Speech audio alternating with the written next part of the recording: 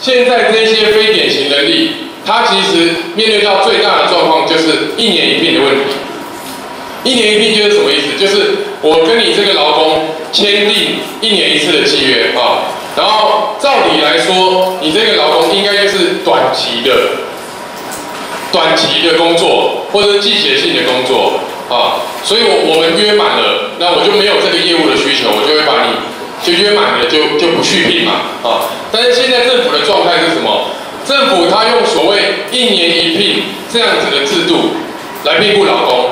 但是实际上，这一些所谓短期的人力，在政府里头是长期的被使用，啊，最大宗的就是刚提到的约聘雇人员跟临时人员，这一些人他还是一年一聘，但是实际上他在政府里面服务了十几二十年，那最后这样子他就面临到一个问题，第一个是说，这些一年一聘的人，他其实在在整个职场里面是没有工作安全的保障的。啊，如果说我真的是属于临时性的工作，那我工作做完我就走了，那那可能影响不大。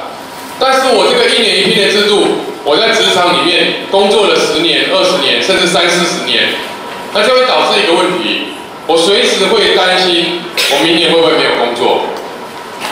那如果我在职场上面遇到霸凌，或者遇到劳动条件我不满意，或者遇到各种的。职场上面会出现的劳资争议状况，那我在现行的聘雇制度下面，我完全不敢去反映。那个，呃，劳基法开始之后，我们有退休金，那么退休金呢，大概发给了我们几年，就是给我们一个呃意思意交代一下。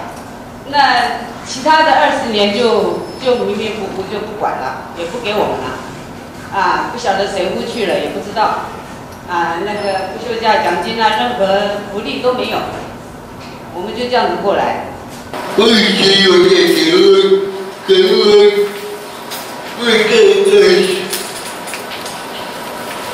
更更更更的，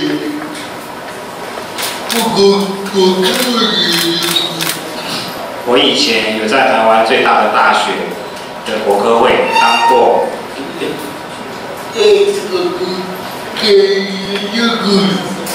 当过研究助理。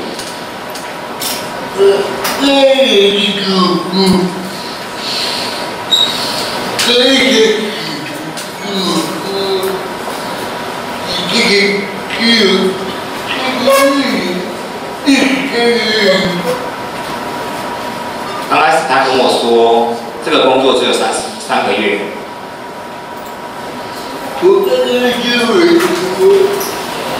然后三三个月后，我就会没有工作了。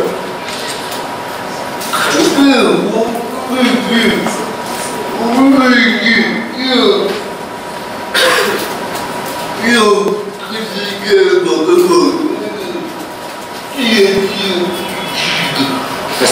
会进去，是因为身心障碍保障法里面的定额禁用进去的。我觉得，我觉得例子可以可以哭了。我觉得用这个例子，我可以看得出来更更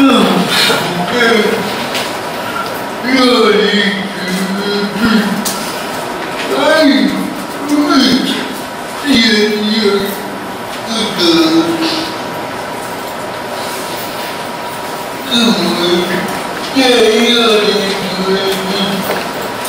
政府在用临时约聘来。